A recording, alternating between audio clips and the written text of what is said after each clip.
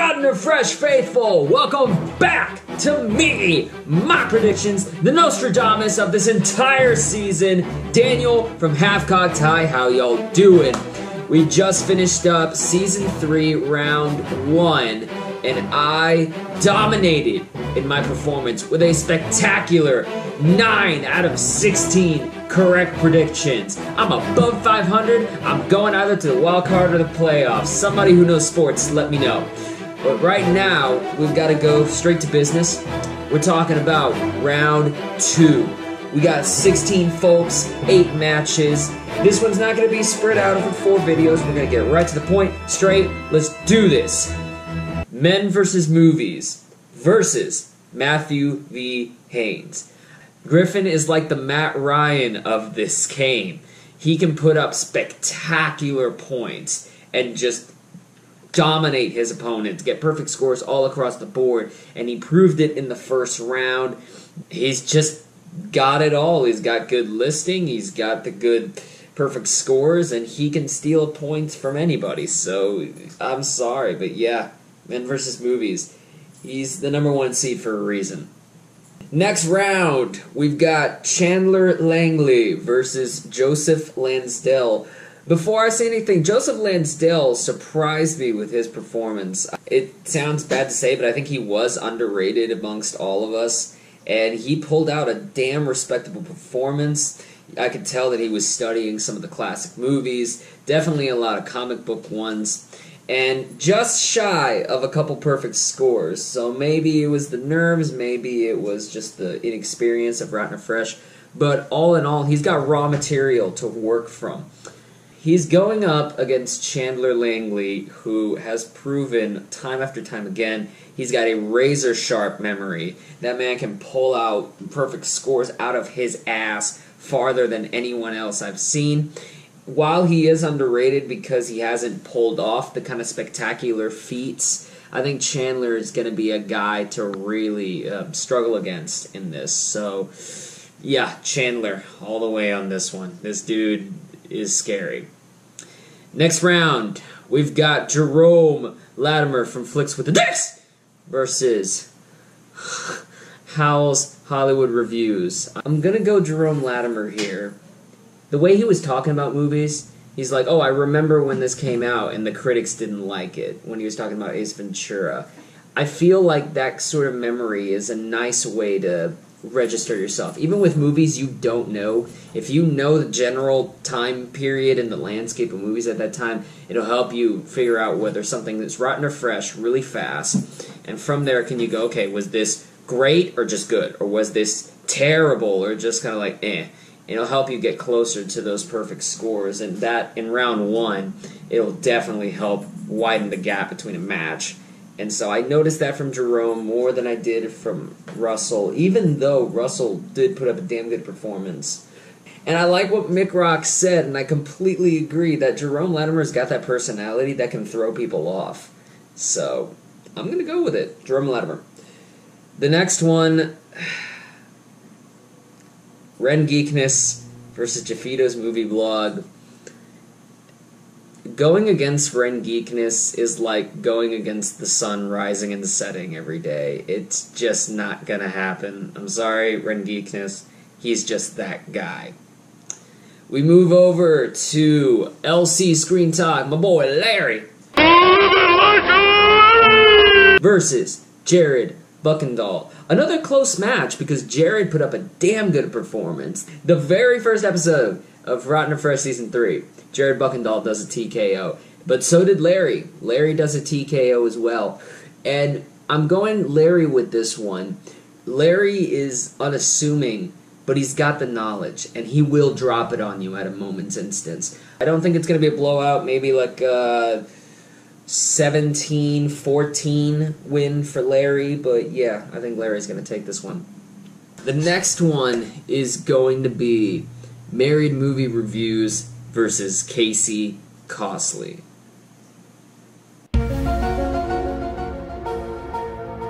This one was really tough for me to figure out, mostly because I think that Mike, while I'm going to predict him to win, I don't think he's a steamroller. I don't think he's a Men vs. Movies or Ren Geekiness, even though he puts up damn good points.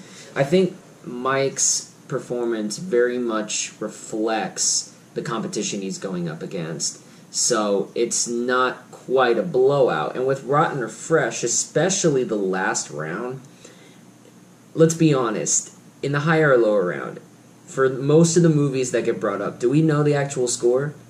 And if we don't, then it's pretty much a coin toss, a 50 50 decider. Unless you know the actual score, it really much is just like a give or take feeling. And especially since Ryan and Cody like to throw in Jay Vaders, it feels more and more like a coin toss to decide who wins. So, really, rounds one through three are the most important. And I really do think that Mike Mike gets a couple more perfect scores than Casey did. So I think that's going to be the slightest edge.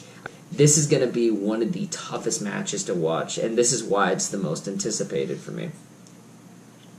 Next one is Zach Pope versus Amy from the movie Checklist.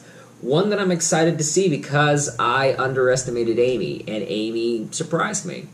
Amy did really well against Rama Screen, and I had voted that Rama Screen was going to go all the way, but that round, I could kind of tell around round one, like, oh snap, Amy's got this. And if it were anybody else, I would say Amy's got a good shot. But it's Zach. And Zach's. Zach is Aaron Rodgers. Zach knows what he's doing. And Zach, I I think somebody check me on this stat. I think Zach is undefeated. It feels bad to vote against Zach. You just can't. He's just that good at this game. But Amy, I've I don't know. Amy's really smart. Amy's got a good berth of movies under her belt. Amy's definitely a smart player. She goes uh, those special categories. She studies those well, and I don't know. Maybe uh, the only way I could really see Amy winning this one is if she's got like a phenomenal listing round. If the listing round is like nine or ten movies that just shoots her over the top, and then maybe the you know round four is kind of like a toss up. If it goes in her favor, I think she might pull it. But the smart money is Zach here. I'll go with the twenty-two to sixteen. 22 to 16 spread on that one. And now the last one, the most anticipated one, the exciting surprise of Rotten or Fresh for me. Jay Vaders versus Austin Burke. I had originally called the Real Talk to win that match, and that was a good match. It was a strong match. But I'll be damned if Austin Burke didn't surprise the hell out of me. If he didn't pull out so many perfect scores, if he didn't know what the hell he was talking about, damn, that dude just impressed me. And he's got the same qualities that I see in like your top people, your Ren Geekness, your Zach Pope, your Men versus Movies. Honestly, ask me any day and I'll flip this. Because Jay, I think, is unpredictable.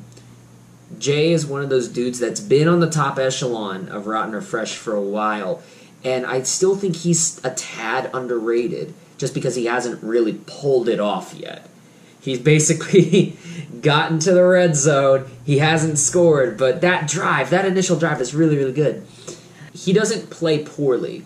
He doesn't give up easy steals, and he doesn't predict uh, Rotten Tomato scores that are like out of left field. He won't say that Inglourious Basterds is a 20%, you know? And he knows right in the pocket where he needs to be, and so that game will help him play. I really do think it's the listing round. Round three is going to decide uh, this match, and for me, I think Jay Vaders just has the strength, and I still think he could probably take this whole tournament. At the end of round two, let's go back over my class of eight, which is Men versus Movies.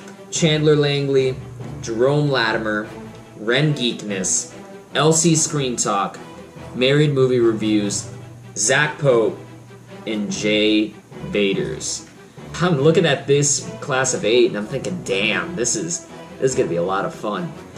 So, if you have your predictions for Rotten or Fresh, let me know all that in the comments below. Let me know why. Psychoanalyze these people, right? If you stuck around to the end, thank you very much for watching. Go ahead, like this video, subscribe to HalfKocked, come see all the stuff we've got, our after credits reviews, my monthly Blu-ray hauls. Oh, uh, congratulations to Rudy for that new segment on the on his local TV show. If you haven't seen Rudy review movies on TV, on the news, he's getting more official by the minute. I'm gonna leave that. Uh, I'm gonna leave the link to that story and that video down in the description. But yeah, congratulations, Rudy. Hoping you're getting one step closer to being the official movie critic for San Antonio. So this has been Daniel from HalfKocked, uh, Dallas's unofficial movie critic, and see you guys later. Bye.